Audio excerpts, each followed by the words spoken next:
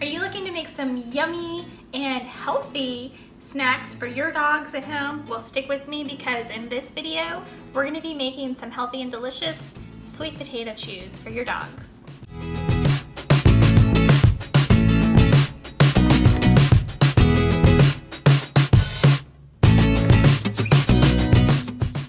Hi, I'm Jessica, the Furry Family Coach, and in this video, we're gonna be making some healthy and delicious sweet potato chews for your dogs. So what we're starting out with is two sweet potatoes and we're just gonna start out by peeling them and then we're gonna slice them. So let's go ahead and get started with our peeling.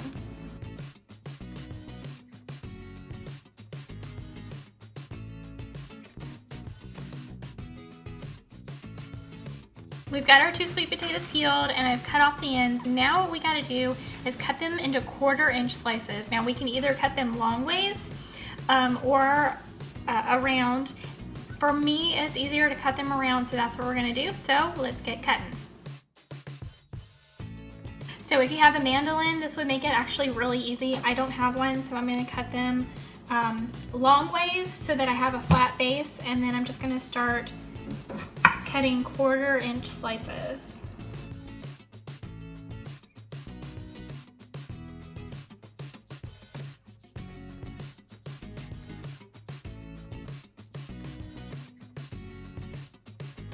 Okay, now that we have our sweet potatoes cut, we're gonna try to get them as um, consistently even as possible, which is why a mandolin would be great if you have one.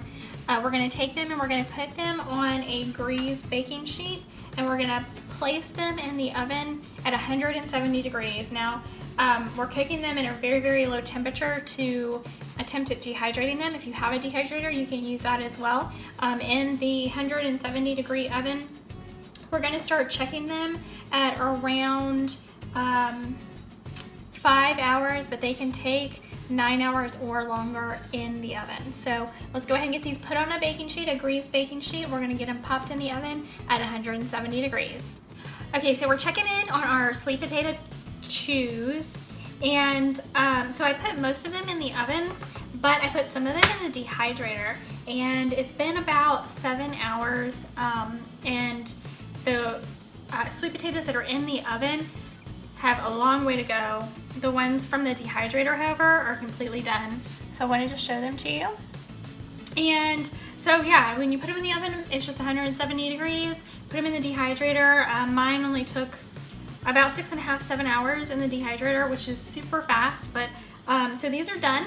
So these are your sweet potato chews. They're really awesome. I actually just ate one. They're pretty good.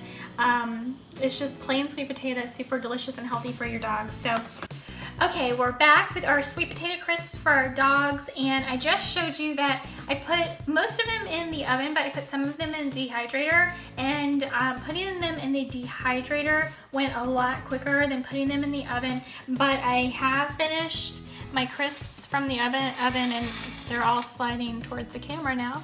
Um, so that's what they look like when they're done. In the oven, they took right about nine hours.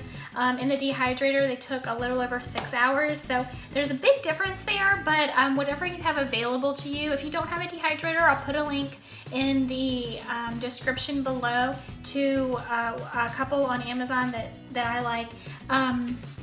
So we've just got our sweet potato crisps now, as you can see. You can make them as big or as small as you want. I think mine took less time because I made them pretty small. I have small dogs, but if you have large dogs, then you can um, use a mandolin and cut them lengthwise, make them much bigger. They'll just take a little bit longer to cook or dehydrate, um, but that's gonna be fine because they're gonna be really healthy and delicious treats for your dogs. So another really simple, healthy, delicious treat you can make today for your dogs uh, if you like this video, try it out, by the way. Make sure your dogs like it. I, would love to hear your comments about trying this out for your dogs. If you uh, like the video, please give it a thumbs up.